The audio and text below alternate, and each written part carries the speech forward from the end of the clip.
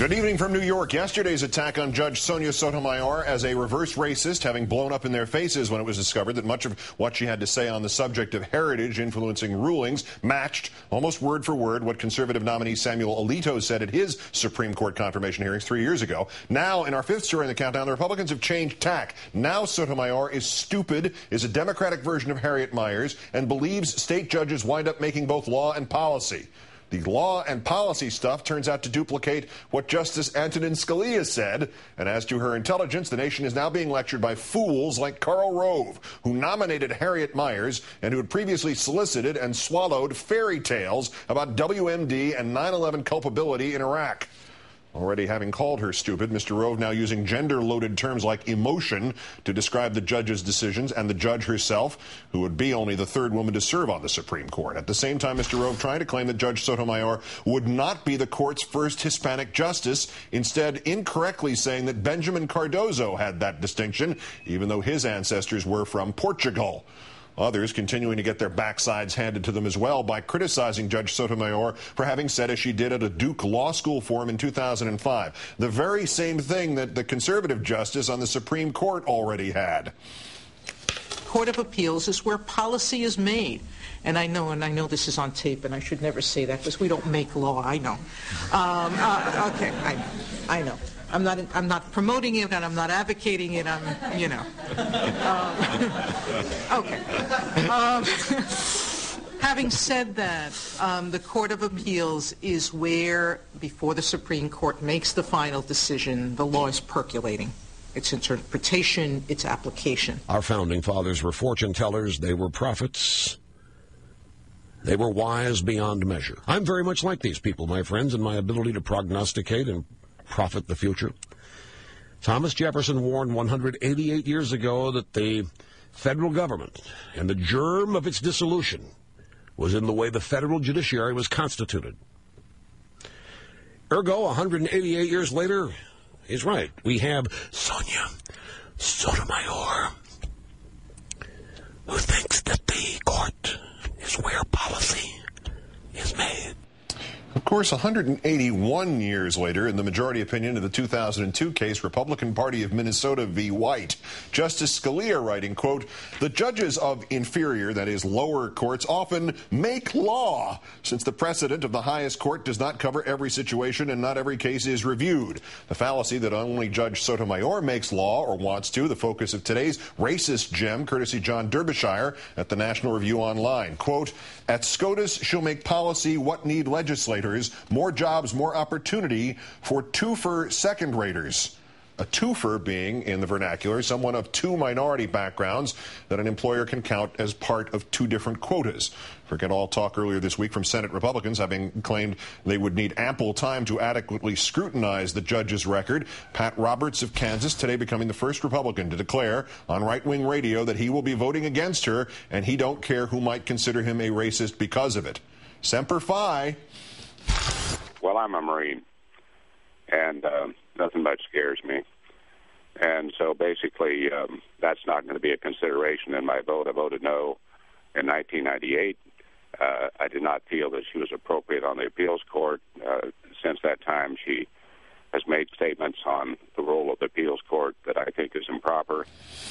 Time now to call in our own Howard Fineman, senior Washington correspondent for Newsweek magazine. Howard, good evening. Hi, Keith. Using this word emotion to describe the perceived shortcomings of a female judge, is that akin to uh, perhaps describing whether an African or asking whether an African American judge was articulate? Is this a more code? Well, it's code for desperation on the part of conservatives and indeed Republicans who are looking for some way to get traction as they, they try to oppose Judge Sotomayor. Uh, First of all, the White House was, was brilliant to roll this out during the recess. Republicans aren't here. They can't sort of gather in their war councils. And while they're gone, uh, people like Rush Limbaugh are in charge. And as, as uh, vehement as Rush is, it just doesn't seem to be getting traction. And I know over at the White House, they're pretty confident they're being very careful and methodical about answering every factual or emotional, talk about the side that's using emotion here, mm-hmm. uh, emotional charge. And I think they're doing a pretty good job of it. And when you talk to Republicans, they say, we, we, it hasn't come together for us yet at all, and that's why they're they're they're they're grasping. And to that point, in the midst of these uh, latest attacks today, came reports from other sources that that no Republican actually believes the party is going to defeat or even seriously impede this confirmation. So, what is actually being done here? What who is gaining from this, and and how do they think they're gaining from it?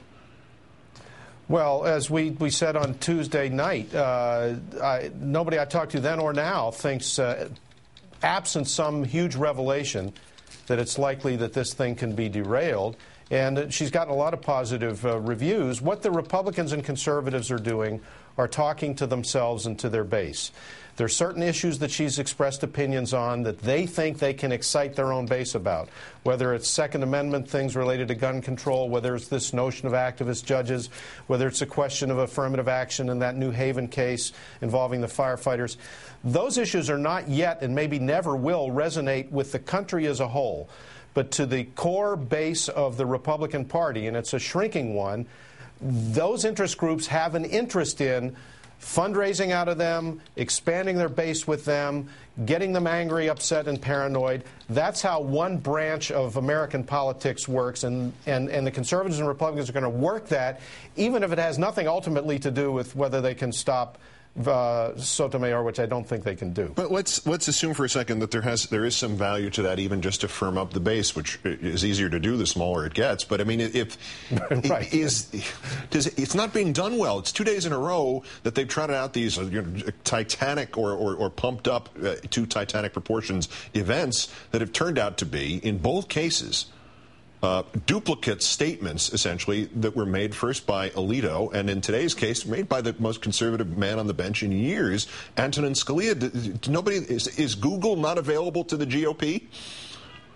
Uh, well, they don't have an organized effort to do it. Uh, Rush is it. I mean, I, have written that there's a, there's a shadow RNC. It's it's it's Rush, Newt, and Cheney. Uh, and, uh, and there's no organized, I stress, no organized opposition yet, and I'm not sure there's going to be much in opposition to Judge Sotomayor. Uh, the White House is superbly organized. Their allies are superbly organized. They've got people inside the White House who have been through this for years. They rolled it out with great care and precision, and I don't see any kind of organization, any organization yet developed on the other side. It's not like it was in the days when Bush was president and the uh, uh, and the Democrats and their liberal allies really worked it hard, even though they lost. You don't see any of that down here, Keith, and I'm not sure we're going to. George Bush had the Google. Uh, Howard Fineman of MSNBC and Newsweek, as always. Thank you, Howard.